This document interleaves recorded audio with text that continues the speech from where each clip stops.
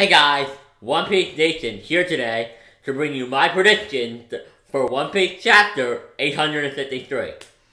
Now, I know this video is late. I'm going to try to start getting these out every Friday or Saturday. I'm not sure what day yet, but let's get started.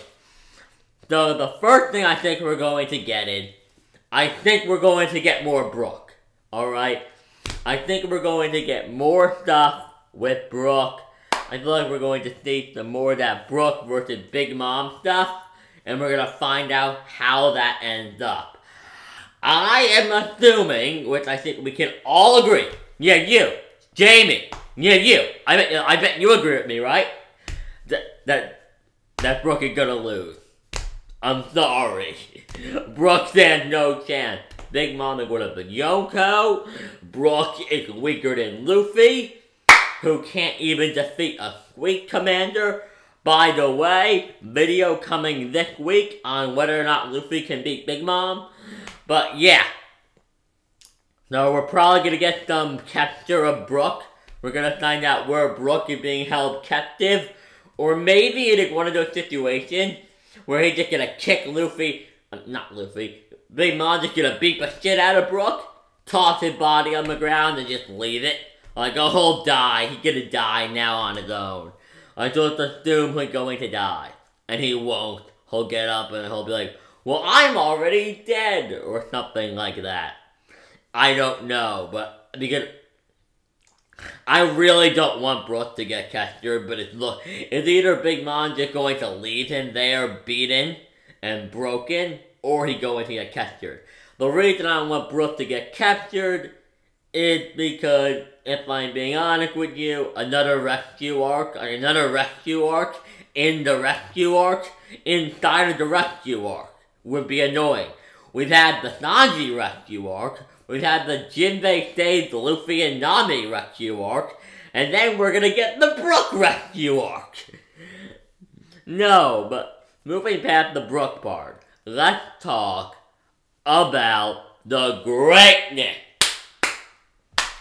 that will be Luffy's next fight.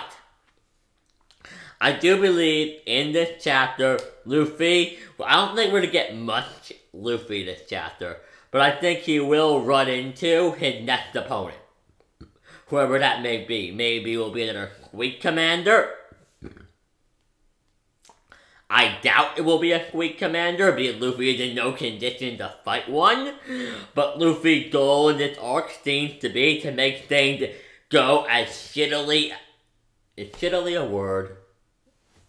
I don't know. But his goal seems to be to make things go as shittily as possible. And I just... He's gonna run into somebody. He's gonna happen in our fight and I presume he's going to run into that person, and then we're going to get a cliffhanger, and then we're going to get, like, no Luffy for, like, 10 chapters. That, that, there's normally, at least in every arc, a point where we barely get any Luffy for, like, 10 chapters. There's, like, 10 chapters where everybody else is doing their own thing and getting their own moment, getting their fight, getting their moment, doing their stuff. And then later on at the end, we just get like 5, 10, 15 chapters of just Luffy fighting.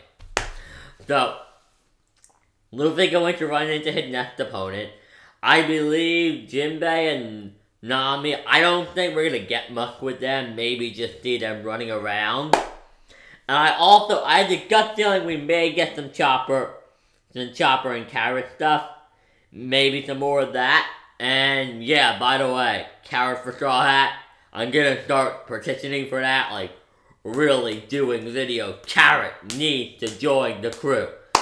But yeah, hope you guys enjoyed this little predictions video. I know these aren't the most in-depth predictions, but this isn't like predicting things in an anime. There is no preview.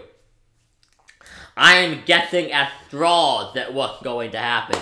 But if you like the video, leave it a like. Tell me your thoughts on what's going to happen next chapter in the comment section down below. These are my pajamas. Like the video if you enjoyed, and subscribe for more One Piece videos.